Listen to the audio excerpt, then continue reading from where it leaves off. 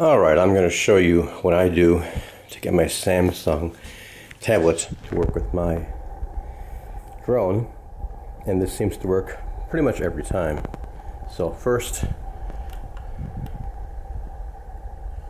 power up the drone. And we wait for everything to cycle.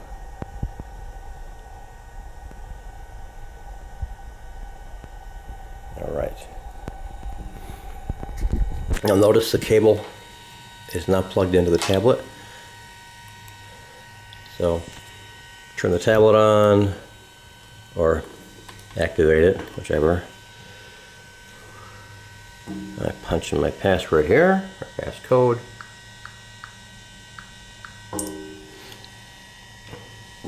Okay, make sure Wi-Fi is turned off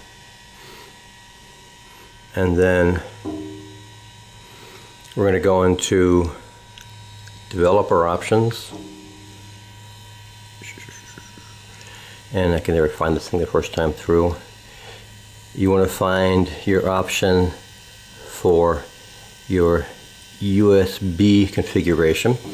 And it's always on MTP Media Transfer Protocol. You want to change that to RNDIS and you'll notice, annoyingly enough, it still says MTP, but you go in here and it says RNDIS. Okay. Turn on our controller.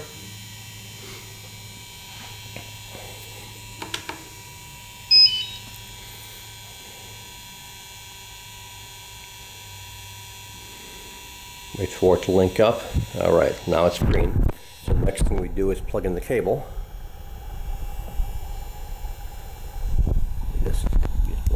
There. Okay.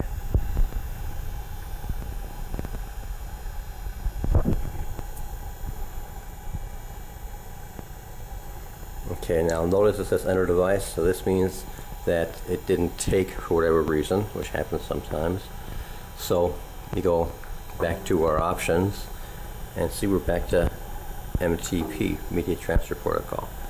It again for RNDIS, and now it says go fly.